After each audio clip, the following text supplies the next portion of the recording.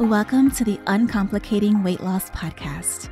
My name is Eva Rodriguez, proud Latina, single mom, and certified integrative nutrition, health, weight loss, and mindfulness coach. I'm passionate about teaching women how to balance being busy and healthy without complicated rules or restrictions. On this podcast, I'll be simplifying weight loss concepts and mindset shifts so that you can be confident in your curves. It won't always be easy, but it doesn't have to be complicated.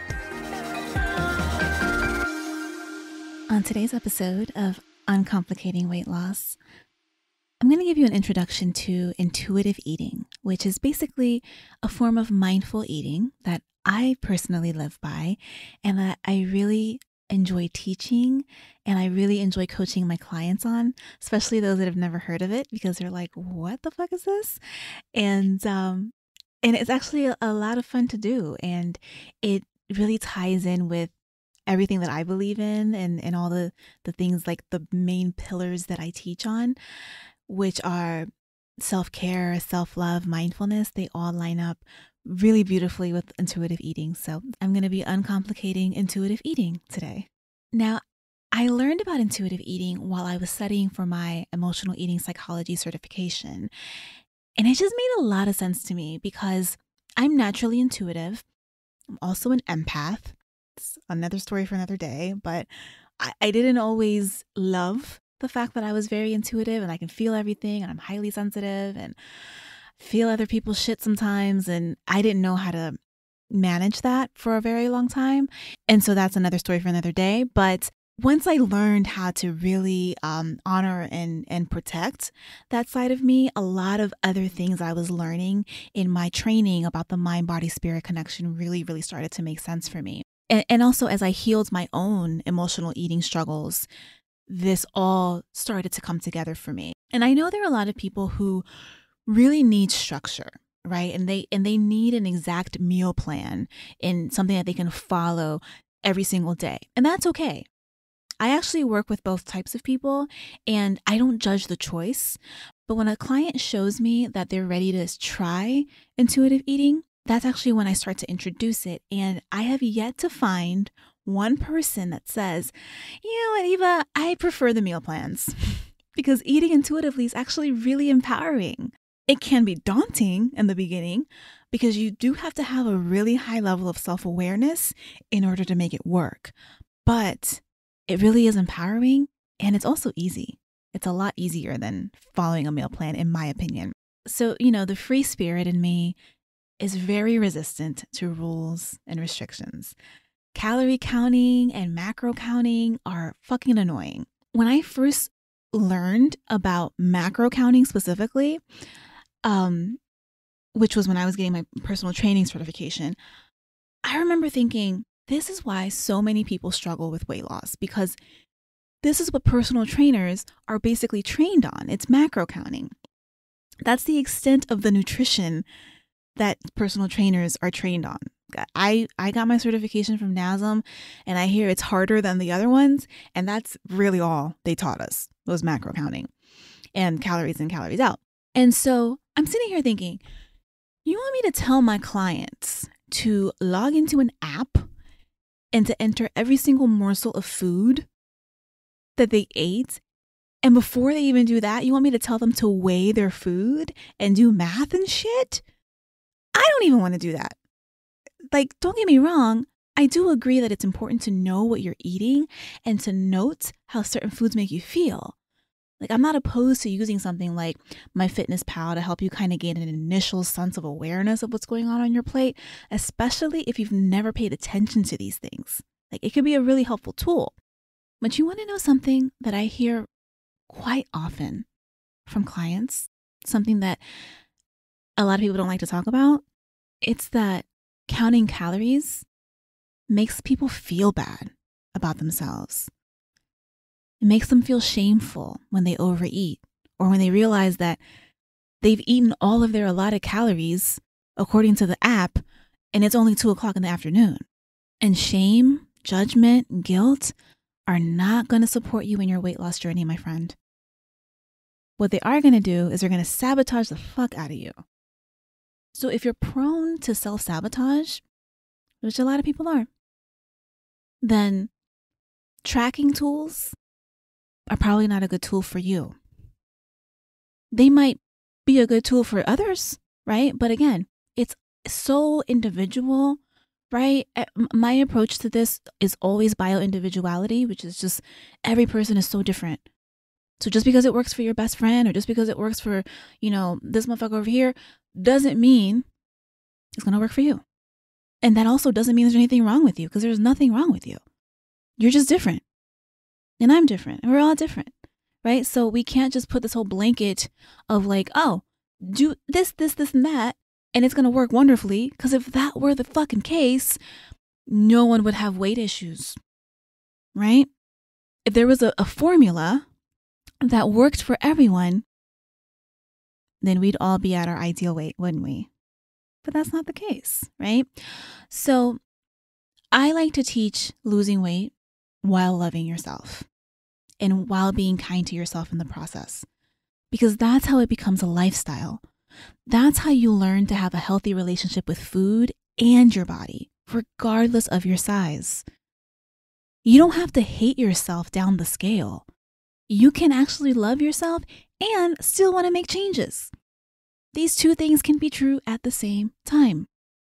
So, intuitive eating aligns wonderfully with my personal teachings on self care, self love, mindfulness, and the two psychologists that actually created intuitive eating, they actually call it a self care eating framework that integrates instinct, emotion, and rational thought. Oh, love it. I love it. As soon as I read that, I was like, oh, I'm in. teach me so I can teach others. So it's a personal and it's a dynamic process. And it includes 10 principles, which I'm going to break down for you in a little bit. And the principles work in two ways. Number one, by helping you cultivate attunement to the physical sensations that arise from within your body to get both your biological and psychological needs met. And Number two, by removing the obstacles and disruptors to that attunement, which usually come from the mind in the form of rules, beliefs, and thoughts. So, intuitive eating definitely requires that you have a paradigm shift around dieting because most diet plans and most programs don't include the mind body spirit connection. So, intuitive eating is sometimes called mindful eating because it forces you to be mindful, essentially. And it's really helpful as well for people that struggle with eating issues or with chronic dieting, because again, it's taking you out of this mentality of, I must follow these rules in order to succeed. And instead, you start to listen to yourself.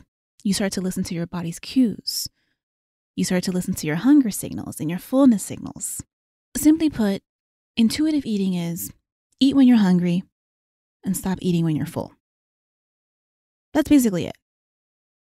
Now, does that mean you get to eat pizza and ice cream all day? No, absolutely not.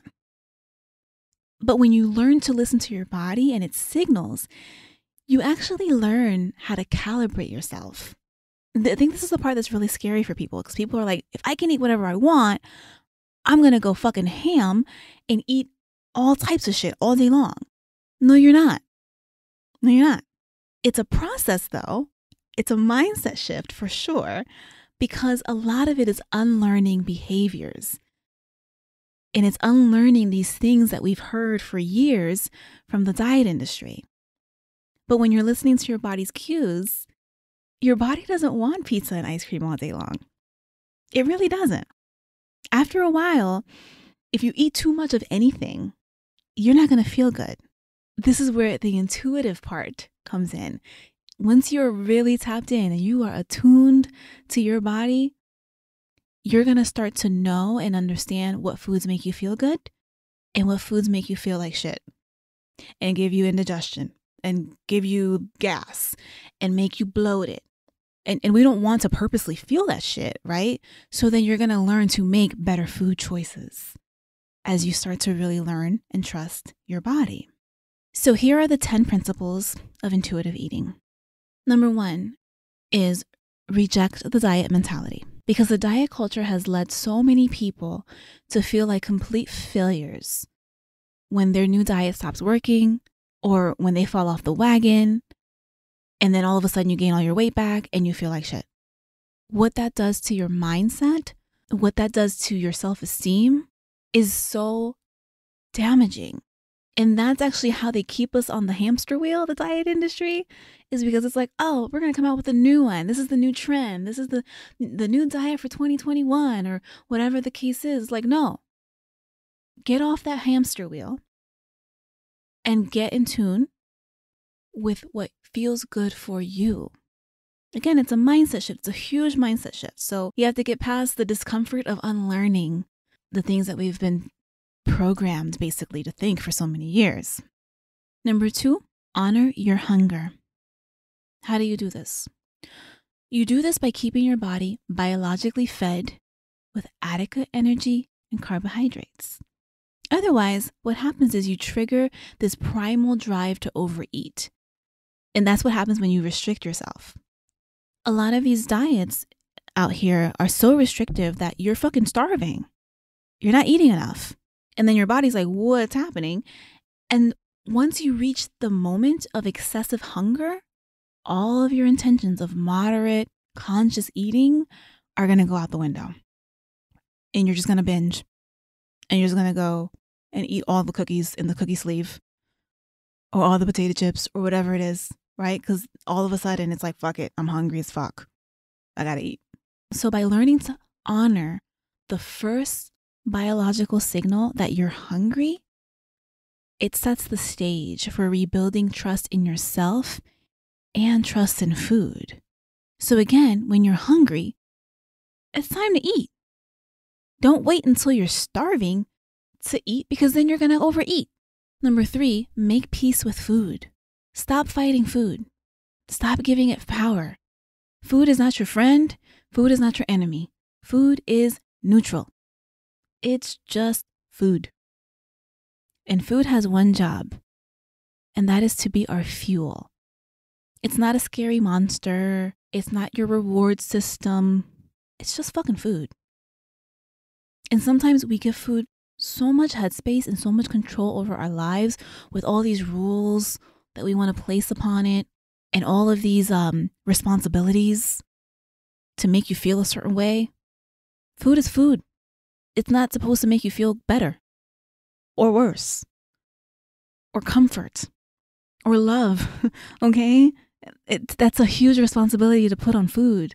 And also, if you tell yourself that you can't or shouldn't have a particular food, listen, unless it's because your doctor says that you can't or shouldn't eat it, it can lead to these really intense feelings of deprivation. And what that does is it builds into these uncontrollable cravings and oftentimes binging. Number four, challenge the food police. Just because you eat a cookie or 10 doesn't make you a bad person. Just because you eat kale, that doesn't make you a good person. The food police mentality upholds these unreasonable rules that the diet culture has created. So, in this case, the quote police station is really deep inside your psyche. And it's this mindset that leads you to feeling guilty or hopeless or fuck it, right? Case of the fuckets, that's what I call it, if you fall off of your plan. Instead of giving yourself grace. Because we all fuck up sometimes. We all have moments of weakness. Doesn't make you a bad person doesn't mean you just say fuck it and just go back to whatever you were doing that wasn't working in the first place. You give yourself grace because you're a human and because you deserve it. Grace. Number five, discover the satisfaction factor. So, oftentimes, in our compulsion to comply with the diet culture, we overlook the pleasure and the satisfaction that can be found when you're eating. So, part of this finding pleasure in your food is actually slowing down so that you can actually enjoy your meals. And this also helps you to discover when you've had enough. Because the whole idea of intuitive eating is that you eat when you're hungry and you stop when you've had enough. Only you know what enough is for you, but it's definitely not stuffed. It's definitely not uncomfortably full. But if you're eating super fast, you don't know because you've bypassed. You've bypassed enough, and all of a sudden it's like, oh shit, you realize, oh damn, I feel bloated now. I think I ate too much, probably because you ate too fast. So, by understanding what enough is, you've had enough to eat, what you might learn is that it takes a lot less food than you would have thought you needed to reach that level versus if you just gulped down the entire meal in five minutes and you don't even remember what you ate because you ate it so fast. Number six, then, is to feel your fullness. So you want to listen to your body's signals that tell you that you are no longer hungry. And you want to observe the signs that show you that you are comfortably full. Comfortably full, again, means you've had enough. Not too much, not a whole lot, just enough. So you want to pause in the middle of eating, and then you want to ask yourself, how does this food taste? Am I still hungry? Should I eat more? Or should I stop? And then that's how you can assess your current hunger levels, your current fullness levels. And there's a whole scale and all of this, and I won't get into the hunger scale in this episode, but again, it's just being mindful and slowing down while you eat so that A, you can enjoy what you're eating, but also B, you can be very much in tuned with what's going on inside your body while you're eating. Number seven, cope with your emotions with kindness. So find ways to comfort, nurture, distract, and resolve your issues without using food. And I'm going to do a whole series on self care and self awareness and all of that. So, this is more so just like a precursor to that. But the bottom line is, I said it a little bit earlier food is just food. And if we're placing all of these really unreasonable expectations and responsibilities on a food to make you feel better right? Because you're an emotional eater or you're a stress eater or, or or however you may identify it's it's unfair. It's a it's a it's an unfair situation because food's job is only to fuel you. It is not to make you feel better it is not to heal your broken heart. It is not to heal your unresolved traumas. It is not to de stress you. That's what other tools are for. That's what mindfulness is for. That's what therapy is for. That's what doing the inner work, the soul work, those are the tools that we use in order to truly heal. All food's gonna do is make you feel worse once you're done. And I'll be doing episodes on emotional eating and, you know, I'll share more about my emotional eating journey and all of that. But I definitely just wanted to add that, you know, if you are an emotional eater, just know that learning how to cope with your emotions and really face them and really deal with them and really unpack them, that's going to be the way out of emotional eating and binge eating and overeating. That's how you get out of that cycle. Number eight, respect your body. So it's really hard to reject the diet mentality if you're unrealistic and overly critical of your body size or your shape. All bodies deserve love, dignity, and respect, even if you don't like how you look in the mirror, even if you don't like how you look when you're naked. That doesn't make it okay to hate your body or yourself. That doesn't make it okay to abuse your body or yourself. In order to actually make changes, long term, forever changes in your body, in your physique, in your shape, in your health, you can't do it hating yourself. I always say this you can't hate yourself down the scale because you'll lose the 20 pounds and you'll still hate yourself. You'll just look a little different, but you still will find things wrong with you until you learn how to love the body that you have. And one way to love yourself is by nourishing yourself properly. That is an amazing form of self love. Eating the right foods, eating the right foods for your body type. Eating the foods that make you feel good. Genuinely not not ice cream makes me feel good because i'm stressed out. It's a difference. It doesn't. It actually doesn't. But when you start to nourish your body with the right foods you do start to feel better And you do start to have a different type of appreciation for these foods that you may have been like, oh, I don't think I like that. I don't think I. I mean, for me personally, I didn't think I liked vegetables for a very long time. I was a very picky eater and I had the palate of a 10 year old. I want french fries, I want ice cream, I want pizza, I want plátanos with everything. And I thought vegetables were nasty until I started to be more open minded. And then I realized, oh shit, I actually do feel better after I eat a good salad. I actually do feel better when I have my green juice in the mornings. It does actually make me less inclined to crave other things if I am nourishing myself properly. You know, and again, I'll be doing episodes on self love. Um, I'll be taking them from my previous podcasts and, and repurposing some of them because so, so, so important, right? But just know that regardless of how you feel about your body, if you hate yourself, if you're unkind to yourself, you're going to struggle more than you need to. Number nine is movement. So it doesn't matter what you do, whether it's running, walking, dancing, just make it a point to move your body every day and shift your focus to how it feels to move your body. For example, you feel more energized. Movement actually moves physically and literally moves the energy through your body. And if you have a lot of negative energy in your body, movement is the easiest way to get it out. So, this is really helpful because on those days when you don't want to, you can remind yourself how you'll feel afterwards and why it's worth doing it. There are a lot of health coaches that I know that don't teach movement, that don't uh, encourage their clients to work out. And I don't know why, um, but I do. you want to lose weight? You got to move your body. You got to work out. You just do. Do you have to work out an hour a day? Absolutely not. But you do have to work out, even if it's just a walk. Movement is very important, not just for weight loss, but just for your overall well being, just for your energy, for your energy levels, for your happiness, for your nervous system to be to be balanced. It's really really important to prioritize movement.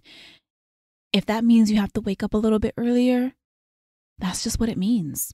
Movement is important. Moving your body every day with intention. Don't just go through the motions, you know, don't just go on a lazy stroll to your mailbox and be like, oh, I moved today, got my movement in.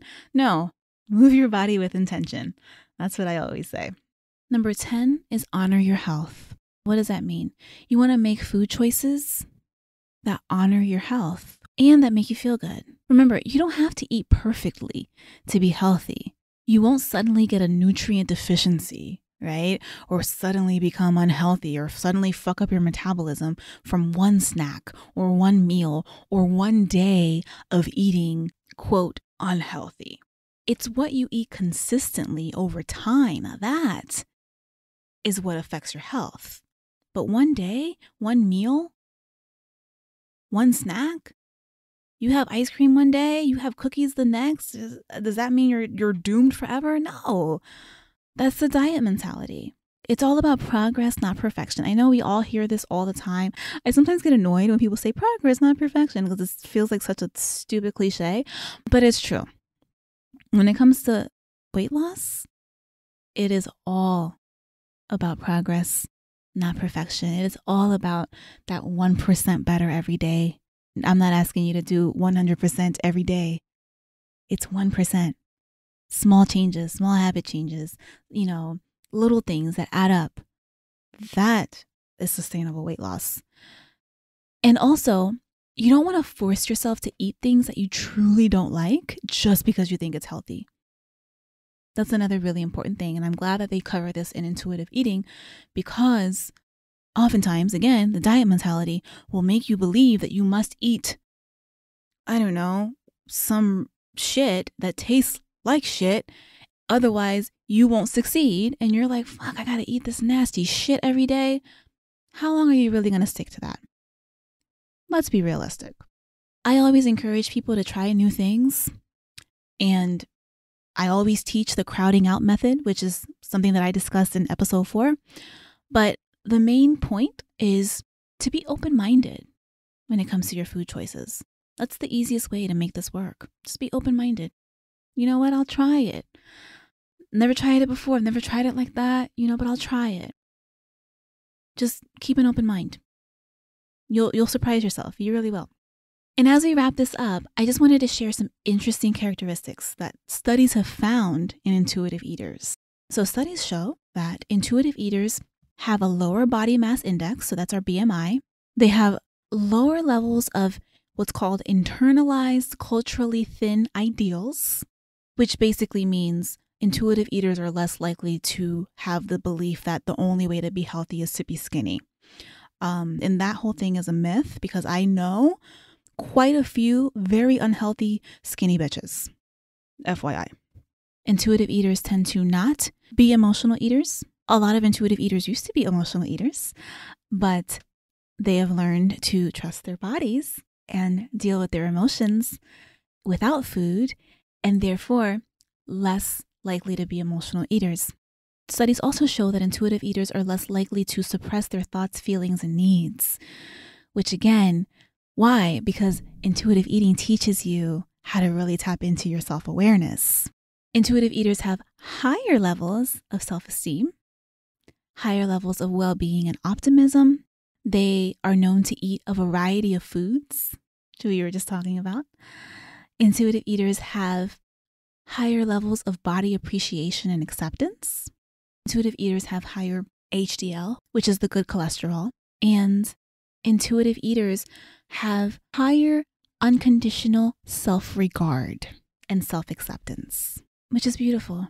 I'll be doing an upcoming episode on self awareness, which I'll be repurposing from my previous podcast, but it was a really popular episode because self awareness really is one of the first steps to all of this, to any transformation weight loss, health, life. Self awareness is, is at the top of that list of things that we need to really hone in on and really learn how to tap into. Once you once you become aware, everything else becomes a little bit easier. So, in closing, intuitive eating is a journey. So, if this is something that you want to do, I encourage you to give yourself a lot of grace in the beginning because a lot of this is just going to be about relearning your body and unlearning the diet mentality that all of us have been exposed to. This is something that I love to teach and I love to coach because it aligns so well with my core values and my teaching pillars. But it does require a lot more self reflection than your average diet plan. So it can be a struggle in the beginning for some, and that's just full transparency. But it's so worth it. It really is. So if you have any questions on this, feel free to submit them through the form in my show notes, and I'll be more than happy to answer them for you. I'll talk to you soon. Bye for now. Thanks so much for tuning in this week and trusting that none of this has to be complicated. At the end of the day, I want you to feel empowered to know that you can have the health, the body, and the life that you desire. Be sure to subscribe so you never miss an episode and tag me on Instagram while listening at It's Eva Rodriguez so that I can support you along your journey. I'll talk to you next week.